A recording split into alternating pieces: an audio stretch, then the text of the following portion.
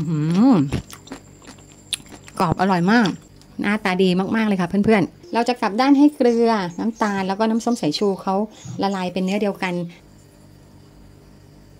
สวัสดีค่ะเพื่อนๆ วันนี้เจ๊ปานทำผักดองนะคะ เพื่อนๆ เจ๊ปานก็ทำที่อยากจะทานนะคะ มีแตงกวา แครอท กระเทียมพริก เพื่อนๆจะใช้ผักอื่นๆก็ได้นะคะ วันนี้เป็นสูตรง่ายๆค่ะ เพื่อนๆ ดองไว้ในโหลแบบนี้ ใช้วิธีง่ายมากเลย 5 วันก็ทานได้แล้ว เดี๋ยวมาดูขั้นตอนกันค่ะ เพื่อนๆอยากทานผักอะไรก็เอามาดองได้เลยนะคะ อันนี้เป็นแตงกวาเจ๊ปานอยากทานแตงกวา แล้วก็มีกระเทียมแครอทแล้วก็ใส่พริกลงไปเพิ่มความเผ็ดด้วยค่ะ เราก็ปอกกระเทียมให้เป็นกลีบๆไว้นะคะ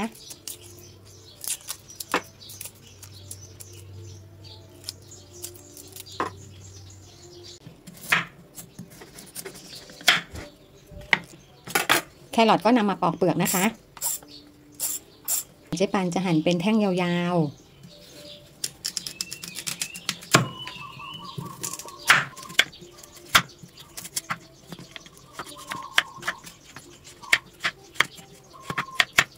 ทีนี้มาถึงขั้นตอนการบรรจุนะคะเพื่อนๆ ใส่ยังไงก็ได้ค่ะ ให้เขาอยู่ในโหลนะคะ โหลก็ไปทำความสะอาดให้ฆ่าเชื้อโดยการลวกน้ำร้อนแล้วไปตากให้แห้งนะคะ ใส่พระคะไปค่ะ แตงกวาแครอทพริกกระเทียมใส่ลงไปเลย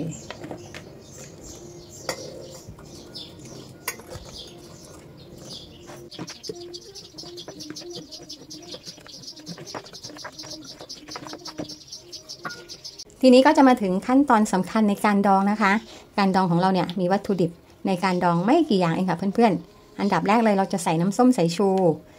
ในหนึ่งโหลเนี่ย เราจะแบ่งเป็นครึ่งหนึ่งน้ำส้มสายชูจะอยู่ใน 1 ส่วน 4 ก็คือครึ่งของครึ่งอีกทีนะคะ เจปานจะเทน้ำส้มสายชูลงไปเลย1ส่วน4ทั้งสองโถเลยค่ะ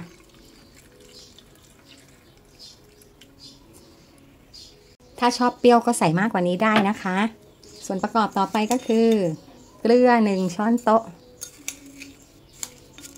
ถ้าชอบเค็มกว่านี้ก็ใส่เพิ่มได้เหมือนกันนะคะ ใส่น้ำตาล1ช้อนชาตัดความเค็มนะคะ ความเค็มความเปรี้ยว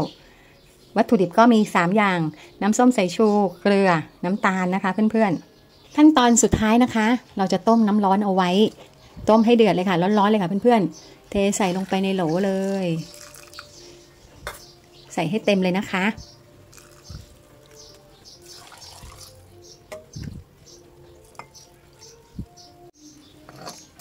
ร็จแล้วปิดฝาให้แน่นเลยค่ะ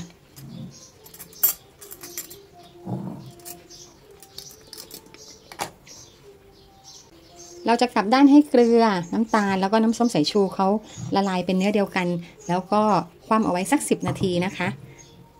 ตอนนี้โหลก็ยังอุ่นๆอยู่ เราจะเก็บโหลดองนี้ไว้ที่อุณหภูมิห้องนะคะ ตอนนี้ยังอุ่นๆอยู่เลย อีก 5 วันมาเจอกันค่ะ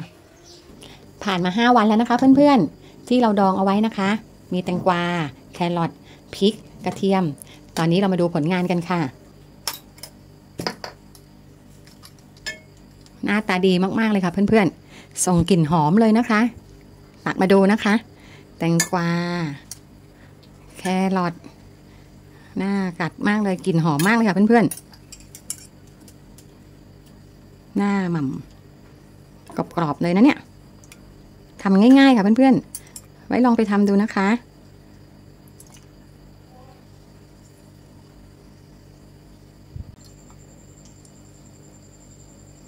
ขวดโหลที่เราเปิดแล้วนะคะ เพื่อนๆ ถ้ามันเปิดแล้วเนี่ย แช่ทานในตู้เย็นนะคะ ถ้าทานไม่หมด เก็บไว้ในตู้เย็นนะคะเจ๊ปานขอชิมหน่อยนะคะเพื่อนๆ แตงกวาของเราอืกรอบอร่อยมาก รสชาติใช้ได้เลยค่ะ ลองดูแครอทนะคะอือร่อยมากๆเพื่อนๆลองไปทำดูนะคะ ใช้ผักอื่นๆ ก็ได้ค่ะจะเป็นต้นหอมเป็นผักต่างๆ ที่อยากทานนะคะ ผักกาดกระหล่ำปีได้หมดเลยค่ะเพื่อนๆสูตรนี้ทำง่ายอร่อยด้วย เจ๊ปานขอตัวไปทานก่อนนะคะ ฝากติดตามครัวอร่อยใบเจ๊ปานด้วยค่ะ ขอบคุณมากค่ะ สวัสดีค่ะ